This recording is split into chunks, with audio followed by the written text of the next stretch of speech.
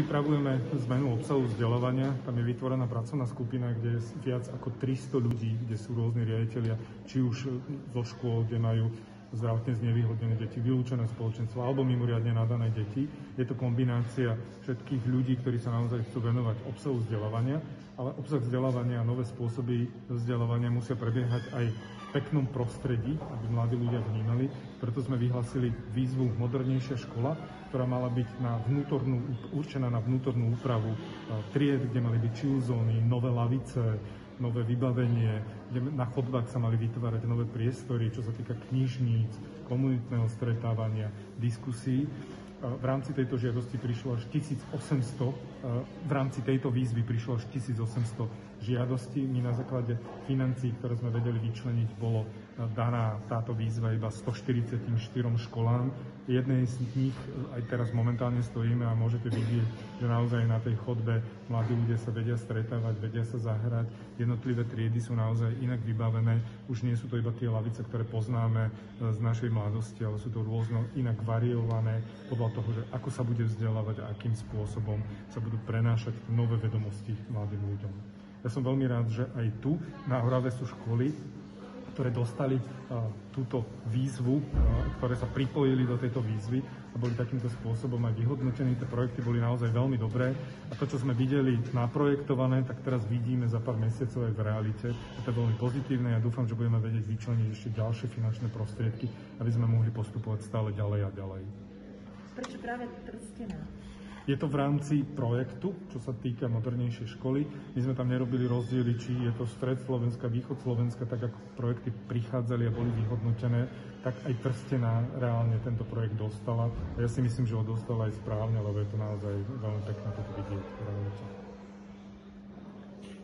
Tak ja sa teda k tomu covidu. Pán minister, rozprával som sa dneska ešte ráno s regionálnou hygieničkou pani Varmusovou podľa jej štatistík teda vychádza, že školy, aspoň na Orave to tak je, sú štarterom tretej vlny, pretože tie čísla sú absolútne vysoké, čo sa týka veku 10 do 19 rokov, potom je tam absolútne nič a potom niekde začínajú dôchodcovia.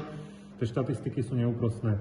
Vzhľadom na toto e, neprichádza do úvahy ešte sprísnenie opatrení na školách, alebo už sa nedá ísť nikde, čo sa týka sprísňovania opatrení, už ste na maxime.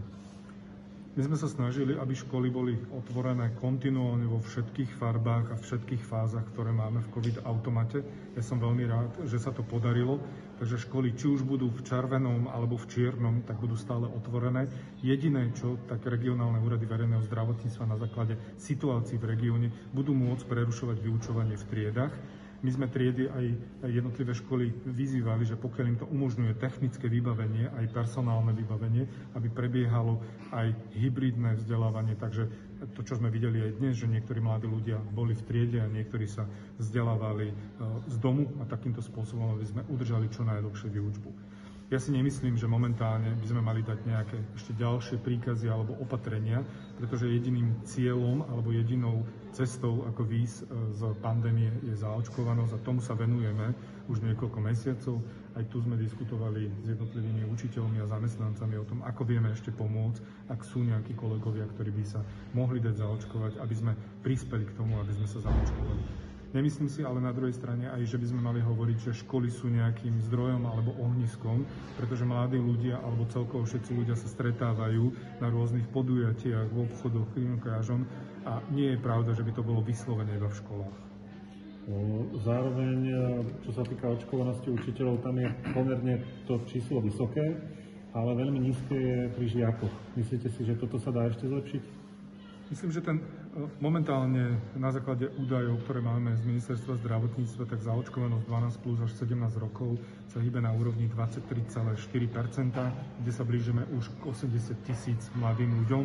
Toto je len na zodpovednosti každého rodiča. Každý rodič, keďže neviete zaočkovať mladého človeka, iba tým, že príde do školy príde tam výjazdový tým, to sú všetko hoaxy a e, takéto správy, ktoré sa šíria internetom. Vždy musíte mať k tomu potvrdenie zákonného zástupcu e, maloletého a aj e, pediatra, ktorý, ktorý odsúhlasí niečo podobné. Ja si myslím, že za ostatné mesiace toto číslo sa zvýšilo. Na začiatku augusta sme mali 19%, teraz máme 23,4%. Takže v rámci či už cestovania alebo vysvetľovania jednotlivých vecí, čo sa týka odborných faktov alebo jednotlivých názorov, si myslím, že sa nám darí posúvať tú hranicu stále vyššie a vyššie.